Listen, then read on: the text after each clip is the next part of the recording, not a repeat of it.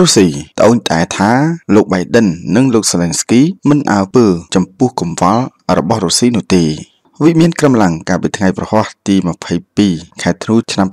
2022បានចោទប្រកាន់ទីក្រុងគីវនិងទីក្រុងវ៉ាស៊ីនតោនថាបានប្រងើយកន្តើយចំពោះក្តីព្រួយបារម្ភរបស់ខ្លួនហើយចោទប្រកាន់សហរដ្ឋអាមេរិកថាកំពុងប្រើអ៊ុយក្រែនជាសមរភូមិដើម្បីធ្វើឲ្យប្រទេសរុស្ស៊ីចុះខ្សោយ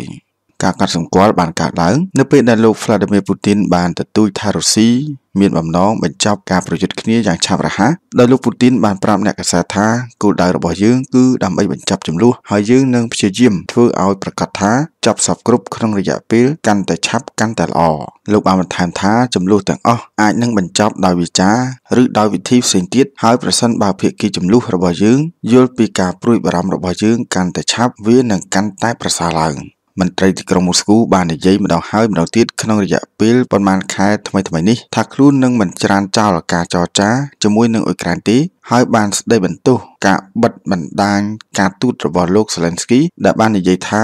លោកនឹងមិនចរចាដាច់ខាតដរាបណាលោកពូទីននៅបន្តកាន់អំណាច មេដឹកនាំអ៊ុយក្រែនបានវិលត្រឡប់ពីដំណើរទស្សនកិច្ចទៅកាន់ទីក្រុង Washington ហើយនៅក្នុងទស្សនកិច្ចនោះប្រធានាធិបតីអាមេរិក Joe Biden បានផ្ដល់កញ្ចប់ជំនួយយោធា1.8000លានដុល្លាររួមទាំងប្រព័ន្ធមីស៊ីល Patriot ជាលើកដំបូងយ៉ាងណាមិញលោកពូទីនបានប្រមានថាកញ្ចប់ជំនួយថ្មីនេះអាចបង្កឲ្យមានចំនួនបន្ថែមទៀតហើយថាការបញ្ជូនអាវុធទាំងនេះគ្មានប្រយោជន៍អ្វីទេក្រៅតែពីអបបន្លាយចំនួនក្នុងរយៈពេលយូរទៀត ទន្ទឹមនឹងនោះអ្នកនាំពាក្យវិមានក្រមឡាំងលោក Dmitry Peskov បានលើកឡើងបន្ទាប់ពីដំណើរទស្សនកិច្ចនេះថាมันមានពាក្យមួយឃ្លាណាបានប្រមានលោក Zelensky ប្រឆាំងនឹងការបាញ់ផ្លោងលើអាគារលំនៅឋាននៅក្នុងទីក្រុង និងភូមិនានាក្នុងតំបន់ដូនបាសនោះទេហើយក៏មិនមានការអំពាវនាវពិតប្រាកដសម្រាប់សន្តិភាពដែរវាបង្ហាញថាសហរដ្ឋអាមេរិកកំពុងបន្តចូលរួមក្នុងសង្គ្រាមដោយប្រយោលជាមួយនឹងរុស្ស៊ី